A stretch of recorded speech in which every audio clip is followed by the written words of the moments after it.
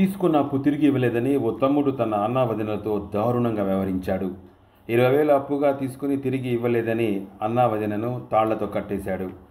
సిద్దిపేటలో తన తమ్ముడు కనకయ్య వద్ద లక్ష ఇరవై వేల రూపాయల అప్పుగా తీసుకున్నాడు అన్న పరశురాములు. అయితే తీసుకున్న అప్పులో లక్ష రూపాయలు తమ్ముడికి తిరిగి ఇచ్చేశాడు. ఇంకా ఇరవై వేల కోసం అన్నా వదిలను కనకయ్య తాళ్ళతో కట్టేశాడు. అనంతరం బాధితులు సిద్దిపేట వన్ టౌన్ పోలీసులకు ఫిర్యాదు చేయడంతో కేసు నమోదు చేసుకుని వారు దర్యాప్తు చేస్తున్నారు.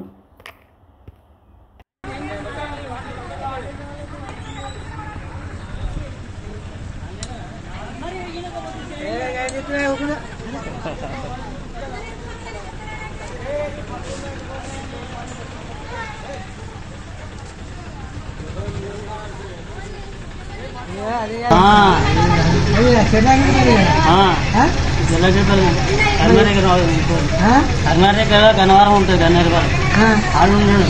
అంకిత వాళ్ళు ఇక్కడ కవలు కట్టుకున్నాడు చేస్తాడు అని తీసుకుపోయారు.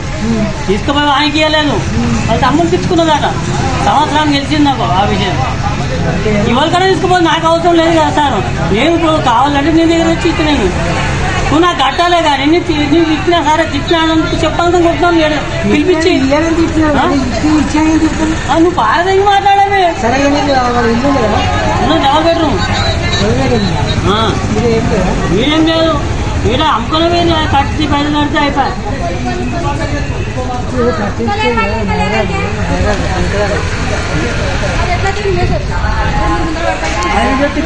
पैसे आगे अरे